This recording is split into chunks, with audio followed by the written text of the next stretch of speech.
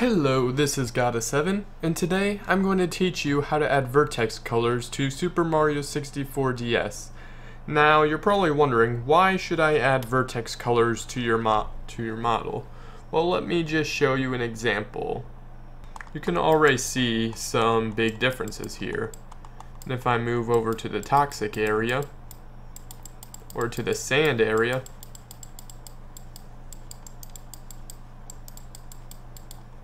or to the snowy area even, you can see that there is an indeed a big difference on how the level looks. And I don't know about you, but I personally believe the one on the left here to be a lot better overall. So that's why you want add vertex colors to your level as they give it some extra shading and detail that otherwise would not be present. So it's an instant way to make your models look that much better. So I'm going to show you in this tutorial how to do that. What you're going to need is Blender, Mario 64 DSe, your ROM, and Josh's Mario 64 BMD exporter, which I'll, I'll link in the description below. So once your ROM is open, you're going to want to open the level up that you want to edit. In this case, I want to open up Starshine Cove from Shining Stars DS. Now, we need to first find where the BMD is located. So if I go to import level model, we can see its data stage tbdeca d and tbdeca d all.bmd. So then if I go to the file system, data, stage,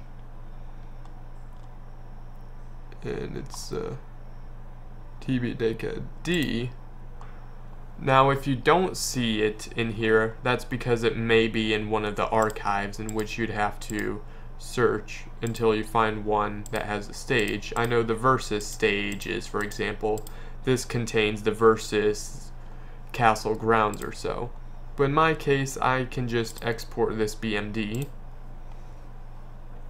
So I'm going to go to my tutorial folder, and I'm just going to call this starshine no shading.bmd just for its a clear example. And now I'm going to open up Blender.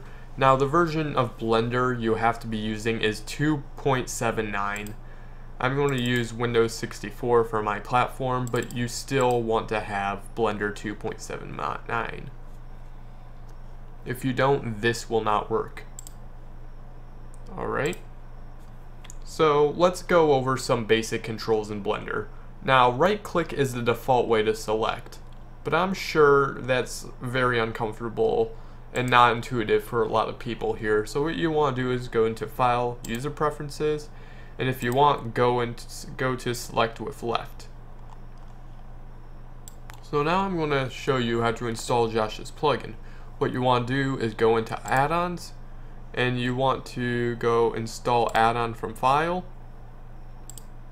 tutorial and just select the blender Mario 64 DSC zip file. And then once you do that you should check it here and then make sure to save user preferences and then X out of that. And then we can select with left click now and you're just going to want to delete everything on the scene. I'm left clicking stuff and hitting delete. You can also hit the X key to delete. And then once you do that, I'm, you want to go to file, import NDS binary model format or BMD for short. So I'm going to open up my BMD right here by double clicking. And you can see that it looks uh, rather strange as it's not only sideways but has no colors or anything. So what you want to do now is you want to hit the R key for rotate and then you want to rotate along the X axis so hit the X key type in 90 to rotate it 90 degrees and hit enter. And there you go. You just rotated your model. And now to get the and now here we go to the actual vertex coloring. So you want to change the object mode to vertex paint. Then you want to change the solid thing here to material. And you should now see how your level does look. I'm not sure what's with that white plane there, but that would explain why that wall is glitchy in game. And I'll have to modify or mess with that later. Luckily, there's also an edit mode, so you can select your model and go to edit mode. And then you can also mess with faces here. So I can select a face, say I want to get rid of this uh, intrusive triangle right here. I can just hit the delete key and I want to see, I want to just say faces. Oh, there's another bad triangle here, so I'm just going to click that, delete faces. Alright, so now that I got rid of the evil triangles, I can actually move on to the actual vertex painting. So let me go over some Blender controls real quick. So the zoom is used by the mouse wheel. And if you hold the mouse wheel down, you can rotate around along like this. If you hold shift and the mouse wheel, you can pan. And those are the basic controls. There's also something called alt. If you hold alt and F, you can move your camera along a line. I'm not entirely sure how the alt F works it just seems to move when it wants to. Like it sometimes goes to the cursor, but other times it doesn't seem to. I don't know, looks like it's trying to follow the course cursor, so I'm going to say Alt F tries to follow the cursor if there's not a wall in the way. So then, after you're done playing around with your controls and, oh, another plane, maybe I can delete that real quick you can go to edit mode, select the face, delete faces. There we go.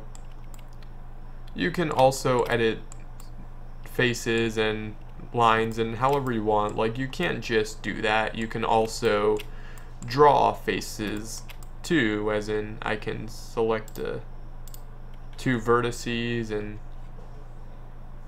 mesh. I can faces, I can insert faces, flip normals. There's a lot you can do in Blender, but maybe another time, another day. So let's go through some basic vertex painting. So what you have here is your color wheel and your blend mode. I namely use on the mix blend mode, but you have a ton you can choose from. You have your strength and radius, and I'm what if I want to give the sand a little bluish tint? Like that? I can just make everything look a bit bluer here. Oh, but as you can see, I got some on the wall and I don't really want that. Well, I can hit Control Z to undo it. You can also hit Control Shift Z to redo. But one thing you can do is hit this button right here that allows for face masking. Now what this does is you can select only certain faces using Shift A and if I paint over here it will only paint on certain triangles. And then if I hit A I can I'll deselect all but if I hit A again it'll select all and I can just toggle between A.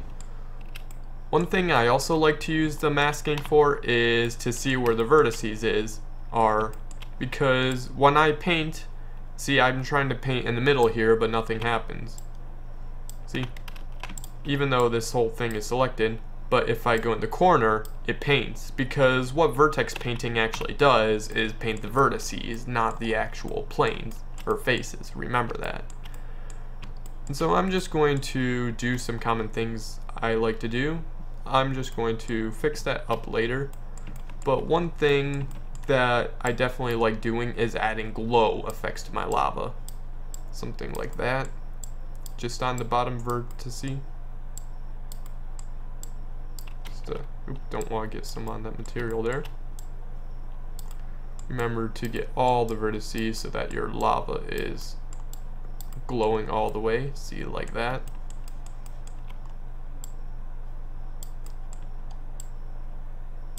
And if you don't like how the color turns out, you can just mess around with it over here. And you can modify properties such as the strength, like I can make it not as glowy or bright or so. Now, one thing I don't have here that's also a common thing to do is when you have a black pit, like a pit or so that just leads to nowhere, infinite, the easiest thing to do is just go all black and then just highlight it all the way. Of course I cannot do that because I do not have a black pit, but I do have a tunnel over here that I can play around with. I'm just using Alt F right now to go through it. So I can just do something like that. And already we have a nice black pit that stands out, but I want it to have some detail over here too, but not too dark so I can lighten it over a bit. So I can do something such as this. Really make this whole area a bit darker. So now you have the really dark pit over here, but now it starts getting less and less dark as you go out. And that's one of the cool things you can do. And you can also do something like maybe not that dark, but have a little. Ooh. Remember to always undo and redo as needed. I'm just going to wrap around the edges here. But remember to always use your tools because you have the ability to do this as well. To only select the faces you want. So remember to use your tools. Be sure to get all the triangles you want shade. Oh missed that one. And I can see I kind of have a little thing around the cave entry, but I don't have it on the inside, so what I should do is flip this around and start editing the inside to be a, to match the color of the outside.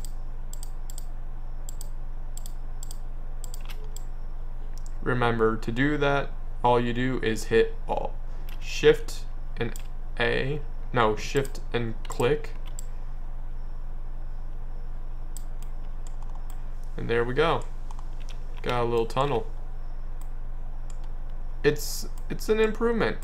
And then as you can see here with that water, we are producing some nice glowing underwater effects. So if I try and get that blue from earlier, I can really make this area look nice. Just be sure to try and get the spots. See? Look at how much of a difference we're making just because of uh, some vertex painting. I'm just kind of showing you some common techniques I do when vertex painting. Like obviously what you do depends on your level and you have full freedom of what you can do. Like I'm going to go back and make this more bluer or so. And I'm going to fix that up of course if you want to fix up a vertex paint, you just make your thing all white and then, or like a different color, and then you just find the troublesome plane. Then maybe line it up, and there, see? It's like nothing ever happened. And then maybe one more thing I'll do or show you is to add shadows. As in like maybe on the inside of this uh, area here. Make a little shadow. Ooh, maybe not that dark. But maybe just a little on the ceiling. And maybe just like a little on the inside here. Oh. Almost had the mask the wrong way. Well, I did have the wrong way actually.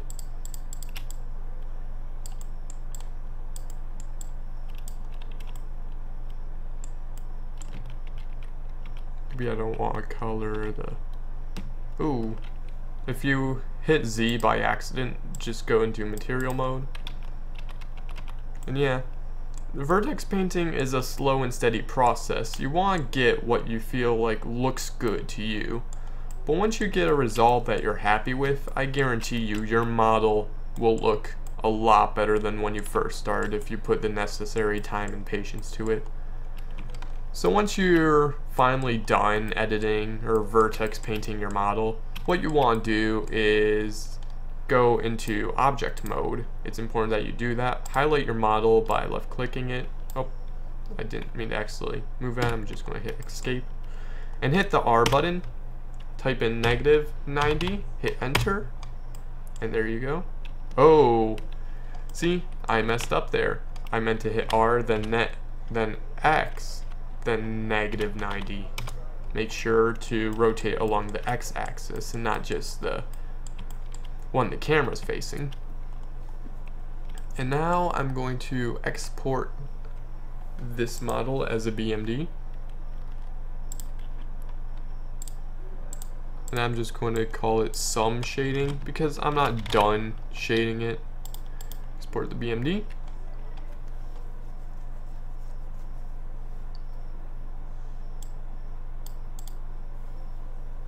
Alright, once that finishes, you just want to right click on your BMD, hit replace, then do that, and I'm going to see how it looks in game.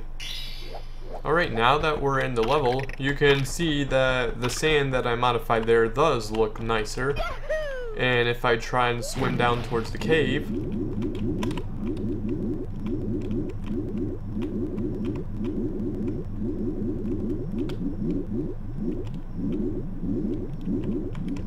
I actually normally have this area fenced off, but I unlocked it for the sake of this demonstrating. If I go further and further inside the cave, it should get darker. And you can see it does. It does get darker the further I go.